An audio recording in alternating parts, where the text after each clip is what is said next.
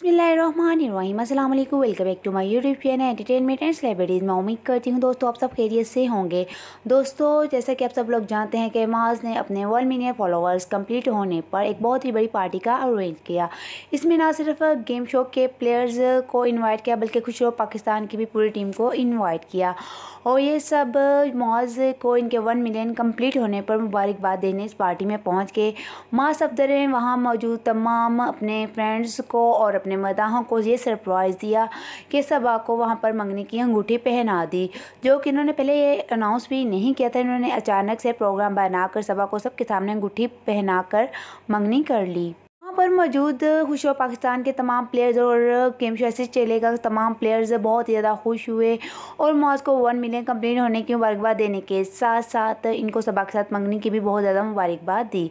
अब इस स्क्रीन पर मौज की इस पार्टी की तमाम तर तस्वीर देख सकते हैं।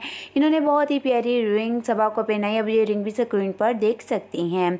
जिन जिन गेम शो ऐसे चलेगा कि प्लेयर तो खुश हो, पाकिस्तान के प्लेयर्स ने शिरकत की। इनमें हफ्सा खान और शहीर खान। और इसके अलावा मैं बात करूँगी रेब खालिद की कि रेब खालिद भी इस पार्टी में है और यहाँ रेब खालिद जाएँ और वहाँ जरनाब ना जाएँ, ऐसा तो मुमकिन ही नहीं है।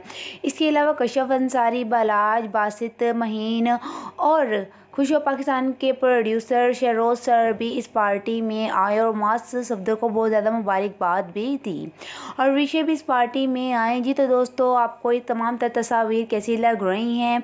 आपको मास अफ्तर और सबा का कपल कैसा लगता है? कमेंट सेक्शन में अपने कीमती ख्याल का इजहार ज़रूर कीजिएगा। इसको मेरी वीडियो अच्छी लगी हो लाइक और शेयर भी ज़रूर कीजिएगा। और जिस से मैं चैनल सब्सक्राइब नहीं करूँ मैं चैनल को भी सब्सक्राइब करें ताकि मैं न्यू आने वाली हर वीडियो का नोटिफिकेशन आपको मौसू हो सके। अपना बहुत सारा ख्याल ख्याल रखिएगा। मुझे अपनी दुआ में ज़रूर याद रखिएगा। मिलते हैं किसी नेक्स्ट अच्छी सी वीडियो के साथ। अल्लाह हाफिज़।